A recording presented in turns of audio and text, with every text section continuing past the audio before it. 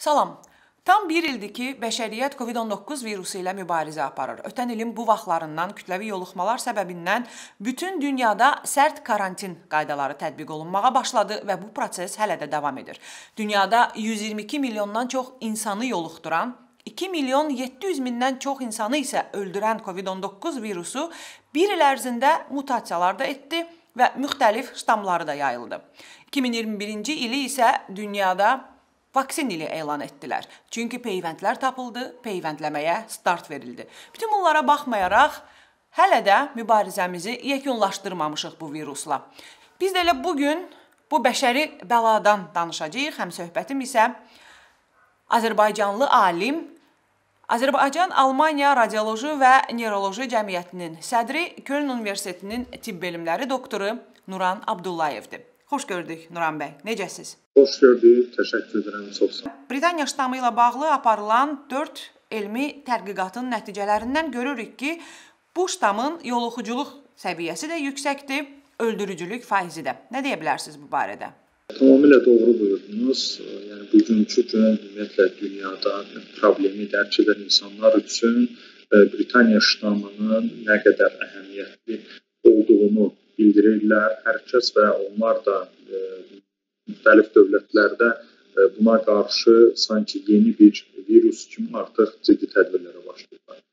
Mən e, yəni yadımdadır həmin e, Britaniya ştamı haqqında e, dünya mediasında xəbərlərdə e, bu haqda informasiyalar yayılanda ilk öncə elmə əsaslanmayan fikirlər yayılır və həmin e, dövrdə də mənim e, Azərbaycan ictimaiyyətinə və insanlarımıza həmişə çağırışım olub ki, mütləq elmi tədqiqatlara əsaslanıb ə, qalmaq lazımdır elmlər və mediada səslənən ə, elmi əks etdirməyən fikirlərə uymaq lazımdır və bir az da keçmişə, yəni çox yox, ay öncəyə baxsaq, görərik ki, mediada ə, bu barədə uşaqları öldürmək barədə və yaxud sadəcə uşaqlarda çox yayılır deyə fikirlər səslənirdi. Sonra elmi tədqiqatlarla e, mən də tanış oldum həm elmi tədqiqatlarla və sonradan baxdıqda bütün bu hadisələrə görünür ki, doğrudan həmin tərəfə də ə, e, ola bilər ki, uşaqlar arasında yayılması çoxdur. Amma bunun səbəbi heç də bu uşaqlara da, yəni ya ən çox uşaqlara tutur və ya uşaqlar arasında yayılır deyil. Bunun səbəbi həmin ərəfələrdə digər yerlərin bağlı qalıb məktəblərin açıq qalması ilə bu izah olunur və ondan sonra müəyyən tətillər təşkil edildikdən sonra görsənir ki, həqiqətən yenə statistika onu göstərir ki, heç də uşaqlar arasında yayılmır. Bu ümumiyyətlə bütün yaş qruplarında eynidir. Və sonra ə, ə, ilk başlanğıcda öldürücülüyü ilə bağlı fikirlər mediada yer aldı və müəyyən tədqiqatların olunduğu bildirilir. Həmin tədqiqatlara baxdıqda mən də o tədqiqat elədim, o haqqda fikirlər mən də söylədim və orada görsənən ondan ibarət oldu ki, sadəcə virus yoluxduruculuq qabiliyyətinin yüksək olduğuna görə fərqlənir. Həmin tədqiqatlarda bu təxminən yanvar aylarında idi. Heç də ölüm faizi, öldürücülük qabiliyyəti, yəni bunlar barədə heç bir şey yox idi. Sadəcə mediada ə, e, çıxan fikirlər idi və bundan sonra ə, e, müəyyən tədqiqatlar başlandı ki, təxminən noyabrdan fevralın ə, e, ayının ortalarına qədər olan xəstələrdə ümumiyyətlə həqiqətən bu ştamlar da nə qədər ölüm faizi, ölüm riski nə qədərdir. Bunlar çox ciddi statistik, yəni rəqəmlərdir və çox ciddi statistik hesablamalar aparılmalıdır. Və həmin tədqiqatlar ə, e, bu son e, həftələrdə artıq ə, e, müəyyən nüfuzlu jurnallarda, mən onlardan birinin adını çəkə bilərəm, Nature jurnalında dərc edildi. Və 4 bugünkü gün yeni tədqiqat. Və mən bu tədqiqata keçməmişdən öncə bildirmək istəyirəm ki, bizim bu günə qədər, bu tədqiqatlara qədər bildiyimiz ondan ibarət idi ki, e, Britaniya ştamı 35%, yəni bu minimumdur. E, bunun yuxarısında hətta rəqəmlər tədqiqatlarda görsənir ki, 50-yə yaxın. Amma mən minimum rəqəmlər qeyd edirəm ki, yoluxduruculuq qabiliyyəti minimum 35% yuxarıdır. Bunu nə cür deyə bilərik? Məsələn, əvvəllər 10 adam 11 nəfəri yoluxdururdusa, artıq bu ştamın çoxalması nəticəsində 10 adam təxminən 14 nəfəri, 15 nəfəri belə ə, bu ə, istiqamətdə yoluxdurur və insanlarımız ə, bəzən dalğa sözünün də daha yəni hər yerdə istifadə edilir. Əslində dalğanın özünün də epidemioloji bir tərifi var. Yəni o ə, hər heç də hər dəfə ə, statistikada müəyyən ə, çoxalmalar olanda heç də dalğa demək deyil. Mən bu epidemioloji tərəfinə çox girmədən ə, izah eləmək istəyirəm ki, yəni yoluxduruculuq qabiliyyətinin yüksək olması o deməkdir ki, müəyyən zamandan sonra insanlar hamısı birdən müəyyən şəhərdə deyək məsələn, e, birdən yoluxmalarına görə bunlara kifayət qədər tibbi xidmət göstərilməyə bilər ki, bu da ölüm saylarının çoxalmasına gətirə bilər. Və bugünkü gün ə, e, həmin elmi tədqiqatlarla demək olar ki, ə, e, həmin ə, Britaniya ştamına yoluxan şəxs özünün əgər kontaktda olduğu təxminən insanların 15%-ni də yəni e, secondary attack rate deyirlər buna. Yəni 15%-ni də belə yoluxdura bilər. Bu rəqəm bizim əvvəlki bildiyimiz koronavirusdan daha yüksəkdir. Və indiki elmi tədqiqatlar 4 elmi tədqiqat, hansı ki mən onlara e, istinad edirəm və e, bir biri son 2 gün ərzində həmin nüfuzlu elmi jurnalların birində dərc edildi. Və mən sizə e, rəqəmləri bildirmək istəyirəm ki, rəqəmlər 28 gün e, çərçivəsindəki e, ölüm riskinə baxılmışdır.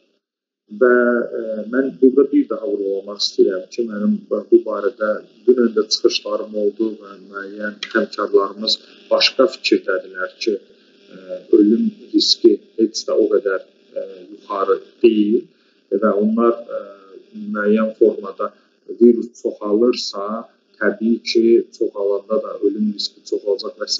başqa bir arqumentlər gətirir. Amma mən konkret olaraq, yəni elmə əsaslanmış və həmin elmi e, tədqiqatlar da artıq bugünkü gün dərc olunubdur e, və yoldaşlar e, tanış ola bilərlər. Yəni burada müzakirə mövzusu belə yoxdur ki, təsir edir, təsir etmir. Artıq bu sübut edilibdir və görsənən odur ki, tədqiqatlarda ilk 28 gün ərzindəki ölüm riskinə baxılır. Və ölüm riski mən 4 tədqiqatı birdən, yəni qısa olsun deyə deyəcəm. Ölüm riski 28 gün ərzindəki ölüm riski 58-67 faiz arasında dəyişir. Və ə, e, yəni bu o deməkdir ki, 58-67 faiz ə, e, ölüm riski qalxıbdır. Yəni bir xəstə bizim bildiyimiz əvvəlki virusa yoluxulur və bir xəstə də Britaniya ştamı virusa yoluxur. Britaniya ştamından virusa yoluxanın ölüm riski 58 minimum 58% yuxarıdır 28 gün ərzində digər maraqlı Amma üzr istəyirəm, e, normal e, COVID-19 virusunda isə bu e, müddət 14-21 gün arası idi. Demək burada həm də günlər çoxalıb. Virusun bədəndə qala bilmə günləri belə qeyd edə bilərik ki, biz bu günlərin nisbi xarakter daşıyır. Çünki tədqiqatlar aparılanda həmin tədqiqatlarda məsələn bu tədqiqatlarda özləri xəstənin sağaldıqdan sonrakı vəziyyətini neçə gün sonra qiymətləndirirlər, buna bir tərif verirlər. Ondan sonra bunu bu e, gün çərçivəsində ölüm sayına baxılır. Bugünkü gün ə, e, çox ciddi elmi tədqiqatlarda yəni 28 gün ərzindəki risk ə, e, götürülür və ə, bu tədqiqatlarda da bir daha vurğulayıram, yəni bu 28 gün vacib faktor götürülərək burada baxılır və daha bir maraqlı məqam ondan ibarətdir ki, e, bəs e, insanlar e, deyir ki, 28 gün ərzindədən başqa kimsə xəstəxanaya düşübdü, xəstəxanada nə şəkildədir? Mən bu mövzuya keçməmişdən öncə xəstəxanada bildirmək istəyirəm ki, İngiltərədə və Danimarkada aparılan bu tədqiqatlar eyni zamanda o sistem Almaniyada da var. Yəni təəssüflər olsun ki, Azərbaycanda bu başqa cürdür. Yəni hər kəs ə, Azərbaycanda biraz narahat oldu və s. həkim deyə bilər ki, o zaman səni xəstəxanada baxaq və s. amma İngiltərədə sistemli şəkildə hər bir şəxsi xəstəxanaya götürmür və xəstəxanaya alınan şəxslərdə artıq müəyyən göstəricilər var ki, burada e, orta ağırlıqlıdır və ya da ağırlıqlı. Bütün Avropa ölkələrində aşağı-yuxarı vəziyyət elədir. Və e, burada da həmin yəni e, xəstəxanaya daxil olan xəstələrdə də artıq burada 28 gün yox, ümumiyyətlə bir xəstəxanaya daxil olan xəstənin ölüm riskinin neçə faiz artdığına baxılmışdı və burada da xəstəxanaya daxil olan xəstələrdə 64% ölüm riski yuxarıdır. Yəni bütün bu rəqəmlər bizə onu göstərir ki, artıq bizim qarşımızda çox təəssüflər olsun ki, nəinki yoluxduruculuq qabiliyyəti yüksək olan, eyni zamanda insanlar üçün ölüm riski də yuxarı olan ölüm riskini yuxarı qaldıran bir e, yeni Britaniya ştamı var. Və e, insanlar bunu eşidib, yəni bu rəqəmləri eşidib qorxmamalıdır və bir şey düşünməlidirlər ki, həmin tədqiqatlarda, yəni bu son 4 tədqiqatda olmasa da, bundan öncəki tədqiqatlarda vurğulanır və həqiqətən statistik olaraq da görsənir ki, e, bütün e, görülən tədbirlər, yəni canlı ünsiyyətlərin minimuma endirilməsi həqiqətən vəziyyəti nəzarətə almağa kömək edir və insanlar arasında yayılmasının da qarşısını alır. Yəni insanlar düşünməsin ki, yeni bir virusdur, yeni e, xəstəlikdə yeni simptomlar əmələ gətirir, müalicəsi tamam başqadır, bundan e, qurtulmaq mümkün deyil. Xeyr, sadəcə bu elmi tədqiqatlar sübut edir ki, e, həqiqətən hər kəs məsuliyyətli olmalıdır və hər kəs öz üzərinə düşən e, bütün bu deyilən şeylərə əməl etməlidir. Artıq təşviş var. Azərbaycanda da e, bildiyiniz kimi e, rəsmi olaraq təsdiqləndi ki, Britaniya ştamının Azərbaycanda da artıq olduğu təsdiqləndi. Bəs bu tədqiqatlar aparılır, onun yoluxuculuq səviyyəsini bilirik artıq ki, daha sürətlidir, ölüm səviyyəsi daha artıqdır. Bəs müalicə metodları, yəni bu çoxmu fərqlidir ya da tamam bir yerə toplaşmamaq, əvvəlki qaydalara riayət edərək bunun qarşısını ala biləcəyik. Amma yoluxmuş insanların reabilitasiyası necə? Onunla bağlı hər hansı bir çalışmalar və yaxud da e, yeni bir şey araşdırmalar varmı? İnsanlar ən azından e, bunu deyərək rahatlada bilək. Xəstəliyin simptomları olsun, xəstəliyin müalicəsi olsun, e, elə bir önəmli dəyişiklik yoxdur ki, vurğulansın ki, məsələn hər hansı bir elmi tədqiqatda bildirilir ki, yeni bir simptomları var, müalicəsi yenidir. Xeyr, belə bir şey yoxdur. Hər bir eyni qalır. Sadəcə iki vacib faktor dəyişikliyi var. Bu da yoluxduruculuq qabiliyyəti və ölüm riskinin yuxarı olması. Başqa insanlarımız narahat olmasın və bir daha vurğulayıram ki, insanlar bilsinlər ki, kifayət qədər elmi tədqiqatlar var və mən onlardan birini məsələn məmnuniyyətlə danışardım və burun spreyləri ilə bağlı o haqqda da önümüzdəki günlərdə mən açıqlamalar verəcəm. Hansı dərman preparatıdır ki, məsələn, Köln Universitetində də həmin tədqiqat artıq başlanılıb. Kölndə yəni yaşayış yerindən asılı olmayaraq insanlara təklif edilir ki, virusa yoluxarkən həmin bizim mərkəzə yaxınlaşsınlar və orada onlara həmin sprey təqdim edilir və e, evdə, ev şəraitində o spreydən onlar istifadə edir və gün ərzində həkim gəlib onlarda e, virus yükünü yoxlayır və ümid edilir ki, həmin spreylə virusa yoluxan şəxslərin e, virus yükünün aşağı saxlanılmasına kömək ediləcək və nəticədə də insanlar virusu daha ağır keçirməyəcəklər, yüngül simptomlarla keçirəcəklər. Bu sadəcə bir elmi tədqiqatdır və bu istiqamətdə kifayət qədər elmi tədqiqatlar aparılır və müalicəsinə yeni dərmanların və yaxud da virusa yoluxduqdan sonra orqanizmdə çoxalmasının qarşısını almaq üçün kifayət qədər elmi tədqiqatlar aparılır ki, dərman preparatları müəyyən edilir. Sizin vurğuladığınız burun spreyləri biz yad hə, xatırlayırsınız, daha öncəki söhbətimizdə ağız spreylərindən danışmışdıq.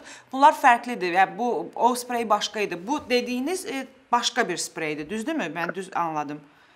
Bəli, bəli. Bu başqa bir spreydir və bu sprey vasitəsilə, yəni bu günə qədər müəyyən allergiyası olan insanlarda həkimlər tərəfindən yazılırdı və həmin spreyləri almaq olar və bu bir daha vurğulayıram ki, ümid edilir, tədqiqat şəklində aparılır və tədqiqat necə aparılacağını ətraflı da yəni mən izah elədim, nə şəkildə aparılır və ümid olunan odur ki, bir daha vurğulayıram, insanlar xəstəliyin ilk günündə ondan istifadə etdikdən sonra virus yükünü azaltmaqla, yəni virusun orqanizmdə çoxalmasının qarşısını almaqla xəstəliyi daha yüngül şəkildə keçirdə bilirlər. Və burada da perspektiv olaraq düşünülür ki, biz pandemiyaya qalib gəldikdən sonra onsuz da virus həmişə bizim bildiyimiz digər viruslar kimi qalacaq. İlin müəyyən fəslində, məsələn, may və noyabr ayları koronavirus üçün tipikdir ki, bu aylarda daha çox olur.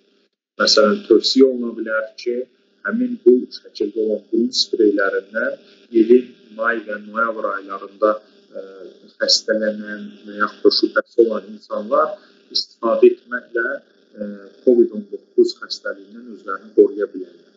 Yəni məqsəd perspektiv bundan ibarətdir. Ümid eləyirik ki, yaxın gələcəkdə biz bu virusa qalib gələcəyik və bunun da ən önəmli yolu peyvənddir, peyvəndləmədir və e, bayaq da qeyd elədiyim kimi e, biz artıq başlamışıq. Yəni dünya olaraq artıq peyvəndləmə başlayıb və 2021-ci il əslində e, peyvənd ilidir bütün dünya üzrə.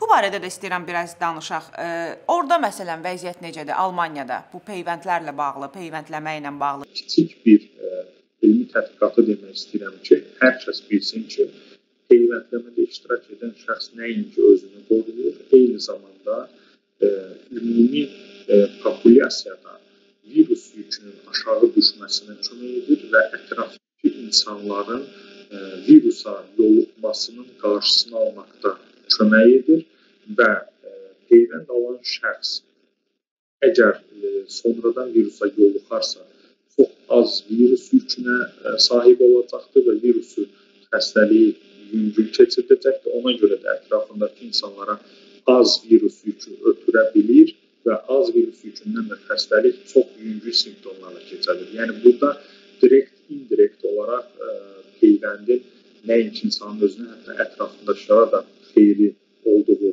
yəni pandemiya qalib gəlmək üçün önəmli faktor olduğu bu tədqiqatla görsənir və bu istiqamətdə də Almaniyada kifayət qədər, yəni ciddi şəkildə peyvəndləmədə iştirak olunur və tədqiqatlardan birini də nəzərinizə çatdırmaq istəyirəm ki, e, o tədqiqatda hətta e, insanlar arasında yoluxmanın 70%-ə qədər azalmasını qiymətləmənin həqiqətən böyük rol olduğunu sübut edilir. Bilirsiniz, Azərbaycanda yaxında bayram günləridir, qarşıda bayram günlərimiz gələcək. Bizim də ə, e, milli mentalitet olaraq ə, e, biz bir-birimizə bayramlaşmağa gedirik, istəyirik, qohumlar bir-birini görsünlər. Bu təkcə Avropaya aid deyil, ə, e, Avropada, ə, Azərbaycana aid deyil, Avropada da ə, Pasxa bayramı olacaq. Burada da insanlar. Bəs bununla bağlı bir ə, tip el alimi kimi nə deyə bilərdiniz? Bayaq ə, e, təbii ki, qeyd etdiniz, ə, e, sosial məsafə saxlamaq falan yenə də maraqlı olardı fikriniz. Deməli mən Azərbaycan milli mentalitetinə ə, e, yaxın birisi kimi, onu daha yaxından bilən birisi kimi bildirə bilərəm ki, ə, insanlar mütləq olaraq ə, bugünkü gün vəziyyətin Britaniya ştamına görə daha da ciddiləşdiyini nəzərə almalılar və kiçik bir misal verə bilərəm. İnsanlar bilməlidir ki, 10 nəfərin bir yerə toplaşması zamanı virusun yayılması 5 nəfərin bir yerə toplaşması zamanı virusun yayılmasından daha çoxdur. Və ona görə də bu qonaq getmələr olsun, bir-biri ilə görüşmələr olsun, bütün qohumların bir yerdə deyil də müəyyən limit qoyularaq insanların da, yəni qonaq gələcək insanların da sayına limit qoyaraq e, belə etməkləri e, riski daha da artıracaq, e, daha da azaldacaq. Üzr istəyirəm və də misal çəkmək istəyirəm ki, kiminsə evinə iki başqa adam qonaq gəlirsə e, və bu qonaqlardan biri virus daşıyıcısıdırsa, e, ikinci qonağı da və ev yiyəsini də yoluxduracaqdır.